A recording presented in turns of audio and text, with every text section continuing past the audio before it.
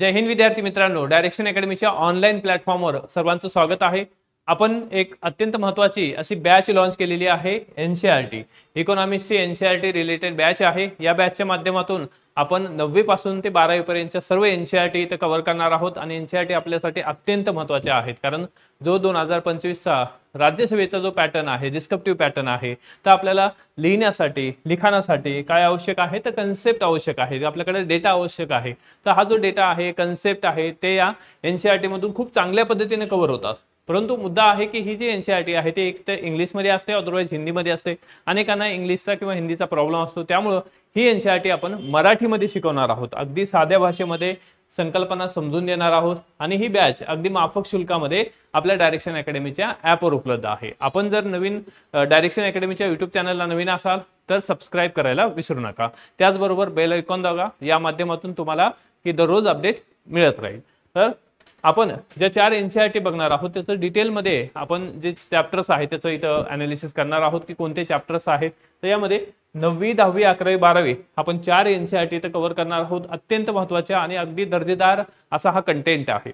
Okay तर यामध्ये पहिलं नववीची जी एनसीआरटी आहे या नववीच्या एनसीआरटी मध्ये आपण नववीच्या एनसीआरटी मध्ये चॅप्टर नंबर फर्स्ट आता नववीची एनसीआरटी आहे इकॉनॉमिक्स ओके तर यामध्ये chapter number four the story of village Palampur. आता विलेज पालमपूरची हे काय आहे? एक प्रकारची इमॅजिनरी स्टोरी आहे. परंतु या इमॅजिनरी स्टोरीमधून काय करण्यात आलेले आहे? There are four factors okay चार घटक आहेत. फॅक्टर्स असतात. म्हणजे एखादी वस्तू तयार करायची असेल किंवा एखादी सेवा तयार करायची असेल तर आपल्याला काय आहेत?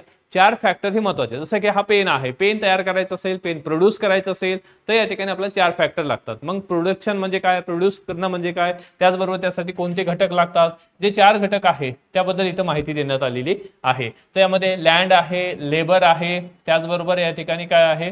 तर लँड लेबर त्यानंतर आपल्याला काय आहे? इन्व्हेस्टमेंट गरजेचे आहे. ओके मराठीमध्ये आपण त्याला म्हणू भूमी आहे दुसरं आहे श्रम आहे. ओके त्यानंतर काय आहे? यामध्ये आपल्याला बँकेकडून काय करावं लागेल? की भांडवल घ्यावं लागणार आहे. तर त्यावरचं मिळणारं व्याज. म्हणजे त्याला आपण कॅपिटल असं म्हणू. ओके श्रम. नंतर या ठिकाणी भांडवल आहे. ओके आणि चौथं काय आहे? तर उद्योजक किंवा या ठिकाणी ह्युमन कॅपिटल आहे. हे सगळं जे चार घटक आहेत हे याच्यामध्ये सांगण्यात आलं. खूप चांगल्या पद्धतीनं इथं हे म्हणजे सांगण्यात आलेलं आहे किंवा प्रेझेंट करण्यात आलेलं आहे. त्यामुळे संकल्पना इथं क्लिअर होणार आहेत चॅप्टर नंबर फर्स्ट दुसरा the people as resource okay लोक किंवा या ठिकाणी लोकसंख्या ही काय आहे? एक प्रकारची संपत्ती आहे. ओके तर यामध्ये या संपत्तीचं रूपांतर आपल्याला काय करता येतं? तर कॅपिटलमध्ये करता येतं. ओके आणि यामध्ये ही जी लोकसंख्या आहे पीपल या ठिकाणी एक प्रकारची असेट आहे. लोक ही काय आहे? लोकसंख्या ही कर एक प्रकारची आपली संपत्ती आहे. ना की लायबिलिटी आहे. ओके लायबिलिटी पेक्षा ही काय आहे? आपली असेट आहे. लोकसंख्या हा एक प्लस पॉइंट आहे. हे या ठिकाणी मांडण्यात आलेलं आहे. मग कॅपिटलमध्ये कन्वर्ट करायचं असेल तर नेमकं काय काय लागतं? एज्युकेशन ट्रेनिंग आहे. ओके त्याचबरोबर हॉस्पिट हॉस्पिटल्स आहेत. म्हणजे हेल्थ आहे. या सगळ्या बाबी आपल्याला इथं या ठिकाणी ह्युमन रिसोर्सचं कॅपिटलमध्ये कन्वर्जन करण्यासाठी लागतात. तर या संकल्पना इथं क्लिअर होतात. त्यानंतर poverty as a challenge poverty म्हणजे काय? त्याचे प्रकार कोणते असतात? कोण प्रक्रिया प्रकारचे पॉवर्टी आहे चॅलेंजेस काय आहे? त्याचबरोबर पॉवर्टी कोणत्या कारणानं होते? ओके किंवा कारण काय आहेत त्याचबरोबर महत्वाचं आहे फूड सिक्युरिटी इन इंडिया मेन्सच्या आपल्या सिलेबसमध्ये फूड सिक्युरिटी दिलेली आहे. फूड सिक्युरिटी अन्न सुरक्षा. मग अन्न सुरक्षा कायदा अन्न सुरक्षा नेमकी म्हणजे काय? त्या सगळ्या कन्सेप्ट या ठिकाणी या चॅप्टरमध्ये कवर म्हणजे हा जर चॅप्टर केला तर आपला मेन्स मधला जो टॉपिक आहे ओके फूड सिक्युरिटी तर हा मेन्सचा टॉपिक पूर्णपणे काय होतं? कव्हर होतो. मग ही एनसीआरटी वाचल्यानंतर आपल्याला काय करायचं आहे? या एनसीआरटी मध्ये ज्या संकल्पना आहेत या सगळ्या संकल्पना आपल्याला काय करायच्या आहेत? करंट सोबत जोडायच्या आहेत. करंट अपडेट सोबत या ठिकाणी ह्याचं काय करायचं आहे आपल्याला? की ह्या ज्या आहेत ह्या अपडेट करून घ्यायच्या आहे त्यामुळं अधिक संकल्पना समजून घेण्यावर भर ठेवा. त्याचबरोबर या ठिकाणी प्रत्येक चॅप्टरचे तुम्हाला नोट्स तयार करायचे आहेत. नोट्स कशा तयार केल्या जातात हे पण इथं सांगितलं जाईल. त्याचबरोबर प्रत्येक चॅप्टर संपला की त्याच्यावर काय आहे? तुम्हाला दोन क्वेश्चन इथं दिले जातील. प्रत्येक क्वेश्चन हा डिस्क्रिप्टिव्ह असणार आहे. तुम्हाला तो लिहायचा आहे आणि या ठिकाणी ईमेलवर पाठवायचा आहे. तर हे झालं नववी.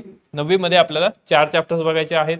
त्यानंतर दहावीचं पुस्तक आहे. ओके दहावीची एनसीआरटी आहे. The understanding economics development okay understanding economic development तर यामध्ये आपल्याला विकास या संकल्पनेवर फोकस करायचा आहे. विकास म्हणजे काय? ओके पहिलं चॅप्टर आहे. What is mean by development विकास म्हणजे काय? विकास म्हणजे काय आहे? किंवा या ठिकाणी ग्रोथ वृद्धी म्हणजे काय आहे? तर कोणते डायमेन्शन्स असतात? ओके तर या सगळ्या बाबी यामध्ये स्पष्ट करण्यात आलेल्या आहे त्यानंतर पुढचं आहे the sector of Indian economy तर यामध्ये there are three types of there are three sectors okay तर या ठिकाणी तीन प्रकारची क्षेत्र असतात. प्रायमरी सेक्टर सेकंडरी सेक्टर आणि टर्शरी प्राथमिक द्वितीय आणि तृतीय प्रकारचं सेक्टर आहे. तर याबद्दल इथं माहिती दिलेली आहे. त्यानंतर मनी अँड क्रेडिट ओके तर आपल्याला या ठिकाणी मनी आणि क्रेडिट बँकिंगच्या शब्दात हा चॅप्टर आहे. हा सुद्धा अत्यंत महत्त्वाचा आहे. त्यानंतर globalisation and Indian economy okay जागतिकीकरण आणि भारताची अर्थव्यवस्था. तर यामध्ये मित्रांनो लक्षात ठेवा की आपल्याला या सर्व चॅप्टर मधून ओके इन्क्लुडिंग कन्झ्युमर राईट या सर्व चॅप्टर मधून आपल्याला आपल्या कन्सेप्ट ओके संकल्पना क्लिअर करायच्या आहेत. आणि एकदा संकल्पना क्लिअर झाल्या की या ठिकाणी काय आहे ते आपण आपल्या भाषेमध्ये मांडू शकतो. आपण आपल्या या ठिकाणी लेखी स्वरूपात त्या प्रेझेंट करू शकतो. परंतु जर संकल्पना क्लिअर असतील तर त्यामुळं इथं आपल्याला दोन हजार पंचवीसच्या पॅटर्नसाठी एनसीआरटी मस्ट आहे. ओके त्यामध्ये इकॉनॉमिक्स एनसीआरटी तर खूपच महत्वाची आहे. त्यानंतर हे झालं नव दहावी नंतर अकरावी. अकरावीचं पुस्तक अत्यंत आवश्यक आहे. खूपच महत्वाचं आहे आणि खूपच या ठिकाणी कंटेंटनं भरलेलं आहे. रिच आहे. कंटेंट एवढा रिच आहे की या आधारे आपल्याला खूप चांगल्या पद्धतीने म्हणजे चांगल्या पद्धतीने आपलं जे आन्सर आहे ते आपल्याला या ठिकाणी इथे डेव्हलप करता येतं लिहिता येतं. तर यामध्ये आणि आन्सरमध्ये इंट्रो कसा असला पाहिजे बॉडी कशी असली पाहिजे कन्क्लुजन कसं असलं पाहिजे हे सुद्धा या ठिकाणी ह्या एन सी आर टीच्या माध्यमातून आपल्याला समजतं. तर यामध्ये आपल्याला हे अकरावीची एन सी आर टी आहे.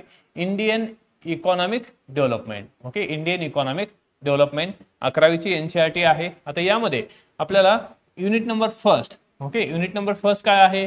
तर डेव्हलपमेंट पॉलिसीज अँड एक्सपिरियन्सेस आता ह्याचे डेव्हलपमेंट पॉलिसीज आहेत कुठून कुठपर्यंत आहेत? एकोणीसशे सत्तेचाळीसपासून ते एकोणीसशे नव्वद पर्यंत. कारण नव्वदला काय झालेले आहे? आपली इकॉनॉमिक शिफ्ट झालेली आहे. म्हणजे या ठिकाणी आपण एलपीजी धोरण स्वीकारलं. त्यानंतरची परिस्थिती मुक्त अर्थव्यवस्थेचा स्वीकार केला. तर मग एकोणीसशे सत्तेचाळीसपासून एकोणीसशे नव्वद पर्यंत आपली परिस्थिती काय होती? तर यामध्ये chapter number four Indian economy on the eve of independence Bharat स्वतंत्र झाला. त्यावेळेसची भारताची अर्थव्यवस्था कशी होती? तर या चॅप्टरमध्ये भारताची अर्थव्यवस्था एकोणीसशे सत्तेचाळीसला म्हणजे पंधरा ऑगस्ट एकोणीसशे सत्तेचाळीसला भारताची अर्थव्यवस्था कशी होती? आणि त्या अगोदर कशी होती? या सगळ्या बाबी इथं स्पष्ट केलेल्या आहेत. मग यामध्ये एक low level of economic development under the colonial rule okay तर मग ब्रिटिशांच्या कलोनियल रूममध्ये ब्रिटिशांची जी वसाहत आहे भारत हा ब्रिटिशांची वसाहत होता. मग भारत या ठिकाणी ब्रिटिशांच्या आधिपत्याखाली होतो. त्या काळामध्ये मग आपली जी काही इकॉनॉमिक ग्रोथ आहे डेव्हलपमेंट आहे ओके ते विकास आहे हा खूप कमी होता. त्यानंतर यामध्ये जे सेक्टर्स आहेत ॲग्रिकल्चर सेक्टरचं काय झालेलं आहे इंडस्ट्रीजचं इम्पॉर्टन्स काय आहे फॉरेन ट्रेड कशा पद्धतीने होत होता त्यानंतर डेमोग्राफिक कंडिशन लोकसंख्येच्या बाबतीत ऑक्युपेशन स्ट्रक्चर कसं होतं इन्फ्रास्ट्रक्चर पायाभूत सुविधा कशा होत्या या सगळ्या या ठिकाणी बाबी आपण इथं पाहणार आहोत. म्हणजे या ह्याच्यामध्ये भारत स्वतंत्र झाला तेव्हा आणि त्याच्या अगोदर कशी परिस्थिती होती? हा चॅप्टर नंबर फर्स्टमध्ये आहे. दुसरा चॅप्टर आहे इंडियन इकॉनॉमी एकोणीसशे पन्नास ते नव्वदच्या दरम्यान. आता यामध्ये भारत स्वतंत्र झालेला आहे. भारत स्वतंत्र झाल्यानंतर भारतातले भारताला आपली अर्थव्यवस्था काय करायचं आहे मजबूत करायची आहे आपल्याला स्वयंपूर्ण व्हायचं आहे. कारण भारत स्वतंत्र झाल्यानंतर सर्वात मोठा जो पहिला प्रश्न होता तो म्हणजे काय आहे? अन्नधान्य बाब अन्नधान्याच्या बाबतीत होता. फूड ग्रेनच्या बाबतीत होता. लोकसंख्या मोठ्या प्रमाणात होती. परंतु जो सुपीक प्रदेश होता तो पाकिस्तानला गेला. त्यामुळं आपल्याकडे अन्नधान्याची कमतरता भागली. या माध्यमातून आपण युएसएकडे गेलो आणि युएसएने आपल्याला अमेरिकेने पी एल चारशे ऐंशीच्या माध्यमातून काय केलं आपल्याला? गहू हे जे आहे या ठिकाणी हे दिलं पी एल चारशे ऐंशीच्या माध्यमातून. मग हे नेमकं काय आहे? या सगळ्या बाबी आपण इथं क्लिअर करणार आहोत. ओके तर यामध्ये the goal of five year plan मग आपल्याला या ठिकाणी आपल्या देशाचा विकास करायचा आहे तर त्यासाठी प्लॅनिंग महत्वाचं आहे प्लॅन महत्त्वाचा आहे. प्लॅन ऑर पेरिस ओके म्हणजे याचा अर्थ काय? नियोजन करा अथवा उद्ध्वस्त व्हा. तर त्यामुळं प्लॅन हे महत्त्वाचा आहे. The goal of five year plans त्यानंतर ॲग्रिकल्चर इंडस्ट्री अँड ट्रेड त्यानंतर ट्रेड पॉलिसीज कोणत्या होत्या या सगळ्या बाबी आपण चॅप्टर नंबर टू मध्ये पाहणार आहोत. त्यानंतर दुसरा जो युनिट आहे economic reform since nineteen ninety one एकोणीसशे एक्क्याण्णवच्या नंतर किंवा दरम्यान जे रिफॉर्म झाले एलपीजी रिफॉर्म लिबरलायझेशन प्रायव्हेटायझेशन आणि ग्लोबलायझेशन जागतिकीकरण त्यानंतर उदारीकरण आहे खाजगीकरण आहे हे सगळं नेमकं काय आहे ह्या सगळ्या संकल्पना. यामध्ये पहिलं लिबरलायझेशन प्रायव्हेटायझेशन आणि ग्लोबलायझेशन ओके यामध्ये याचं बॅकग्राऊंड काय होतं? ती अशी कोणती परिस्थिती निर्माण झाली की आपल्याला या ठिकाणी एलपीजी धोरण हे स्वीकारावं लागलं. एलपीजी पॉलिसी किंवा न्यू इकॉनॉमिक पॉलिसी आपल्याला स्वीकारावी लागली. मग त्याचं बॅकग्राऊंड काय आहे? लिबरलायझेशन काय आहे? प्रायव्हेटायझेशन काय आहे? ग्लोबलायझेशन काय आहे? या सगळ्या बाबी आपल्याला इथं कव्हर करायच्या आहे त्याचबरोबर आपल्याला यामध्ये तर यामध्ये Indian economy and during the reform तेव्हा भारताची अर्थव्यवस्था कशी होती आणि नेमकं कोणत्या कारणानं आपल्याला हे जे धोरण आहे हे स्वीकारावं लागलं? या सगळ्या बाबी इथं क्लिअर होतील. त्यानंतर युनिट नंबर थ्री आहे. युनिट नंबर थ्री मध्ये काय आहे? Current challenges facing Indian economy सध्याचे कोणते चॅलेंजेस आहेत? ओके किंवा एकोणीसशे नव्वदच्या नंतर कोणते चॅलेंजेस भारताच्या अर्थव्यवस्थेसमोर उभे राहिले? हे आपण पाहणार आहोत. त्यानंतर chapter number four human capital formation in India खूपच महत्त्वाचा चॅप्टर आहे. ओके तर मानवी भांडवल. ह्युमन कॅपिटल मानवी भांडवल. नेमकं मानवी भांडवल म्हणजे काय? किंवा या ठिकाणी human as a resources okay आपण या ठिकाणी पीपल ॲज अ रिसोर्स पाहिलेलं आहे. तर मग पीपल ॲज रिसोर्स मग रिसोर्स किंवा या ठिकाणी त्याचं रूपांतर आपल्याला कॅपिटलमध्ये करायचं आहे. तर मग व्हॉट इज ह्युमन कॅपिटल नेमकं मानवी भांडवल म्हणजे काय आहे? त्यानंतर the sources of human capital कोणकोणते या ठिकाणी स्त्रोत आहेत? त्यानंतर human capital and human development मानवी भांडवल आणि मानवी विकास.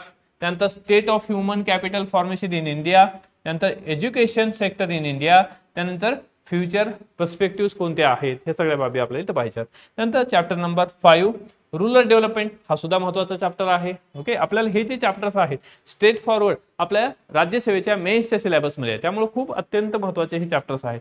सिंपल आहे. अगदी बेसिकपासून आपल्याला इथं तयारी करायची आहे. तर त्यामधला या ठिकाणी what is a rural development okay मग ग्रामीण विकास म्हणजे काय? Credit and marketing in rural areas त्यानंतर ॲग्रिकल्चर मार्केट सिस्टीम काय आहे? त्यानंतर diversification into productive activities हे नेमकं काय आहे? त्यानंतर sustainable development and organic farming हे आपल्याला इथं पाहायचं आहे. तर हा झाला चॅप्टर नंबर फाईव्ह त्यानंतर chapter number six okay employment okay रोजगार म्हणजे काय? Growth informalisation and other issues काय आहे? त्यामध्ये वर्कर्स अँड एम्प्लॉयमेंट त्यानंतर participation of people in employment म्हणजे रोजगार रोजगाराचे प्रकार काय आहेत? सध्याची परिस्थिती काय आहे? नव्वदची परिस्थिती काय होती? किंवा त्याच्या अगोदरची परिस्थिती काय होती? त्यानंतर self employed and hired workers त्यानंतर employment in firms factories and offices त्यानंतर growth and their challenges okay? हे सगळं पाहायचं आहे. त्यानंतर informalisation of Indian workers okay? Work force work force ही संकल्पना आपल्याला सुद्धा क्लिअर करायची आहे. अनएम्प्लॉयमेंट म्हणजे काय आहे? Government and unemployment employment generation म्हणजे काय आहे? त्यानंतर चॅप्टर नंबर सात ओके? त्यामध्ये आपल्याला इन्व्हायरमेंट आणि सस्टेनेबल डेव्हलपमेंट काय आहे? तर पर्यावरण आणि शाश्वत विकास म्हणजे काय आहे? ही संकल्पना सुद्धा आपल्याला महत्वाची आहे. सिलेबसचा भाग आहे. तर इन्व्हायरमेंट अँड याच्यामध्ये डेफिनेशन अँड देअर फंक्शन्स त्यानंतर state of Indian environment sustainable development शाश्वत विकास अँड द त्या ठिकाणी strategies for the sustainable development यासाठी नेमक्या कोणकोणत्या स्ट्रॅटेजीज आहेत. ओके त्यानंतर पुढचा जो युनिट आहे त्या पुढच्या युनिटमध्ये आपल्याला डेव्हलपमेंट एक्सपेरियन्सेस ऑफ इंडिया हे पाहिजे आहे. त्यानंतर यामध्ये या युनिटच्या अंतर्गत चॅप्टर नंबर एट आपल्याला com comparative development experiences of India and its neighbour ठीक आहे? भारत आणि भारताचे जे काही शेजारी आहे यांच्यासोबतचं आपले संबंध कसे आहेत? डेव्हलपमेंटच्या बाबतीत संबंध कसे आहेत? विकासाच्या बाबतीत कसे संबंध आहेत? तर मग यामध्ये डेव्हलपमेंट पाथ त्यानंतर डेमोग्राफिक इंडिकेटर्स काय आहेत?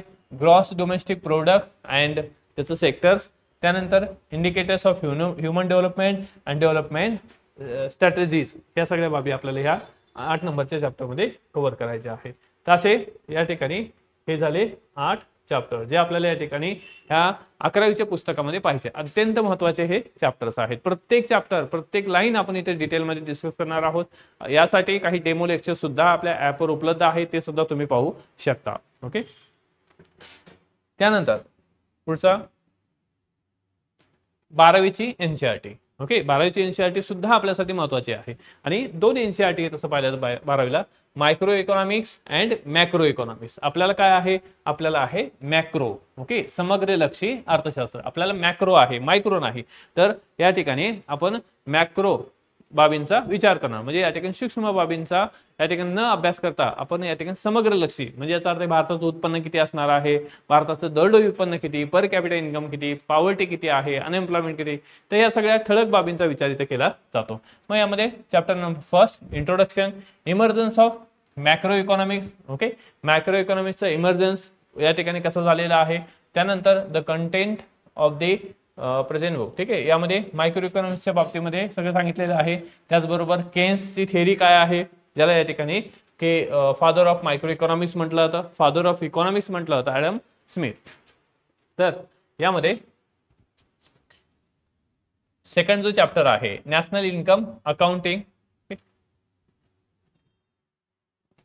आता यामध्ये नॅशनल इन्कम अकाउंटिंग म्हणजे या ठिकाणी राष्ट्रीय उत्पन्न नेमकं कशा पद्धतीने मोजलं जातं हे खूप महत्वाचं चॅप्टर आहे. यामध्ये बेसिक कन्सेप्ट आपल्याला बघायचे आहेत मायक्रो इकॉनॉमिक्सच्या त्यामध्ये या ठिकाणी circular of flow of income and method of calculating the national income नेमकं नॅशनल इन्कम कसं मोजलं जातं राष्ट्रीय उत्पन्न कसं मोजलं जातं ते कॅल्क्युलेशन कसं केलं जातं त्यासाठी मेथड्स कोणत्या आहेत त्याचबरोबर या ठिकाणी व्हॅल्यू ॲडेड मेथड काय आहे एक्सपेंडिचर मेथड काय आहे इन्कम मेथड काय आहे त्याचबरोबर या ठिकाणी फॅक्टर कॉस्ट काय आहे मार्केट प्राइस काय आहे बेसिक प्राइस काय आहे या सगळ्या बाबी आपल्याला इथं डिस्कस करायच्या आहे. त्यानंतर सम मायक्रो इकॉनॉमिक्स इंडी आयडेंटिटीज काय आहेत ओके त्यानंतर नॉमिनल आणि रिअल जीडीपी म्हणजे काय आहे? आणि जीडीपी अँड वेलफेअर याचा संदर्भ कसा आहे? किंवा याचं कंपॅरिझन कसं केलं जातं?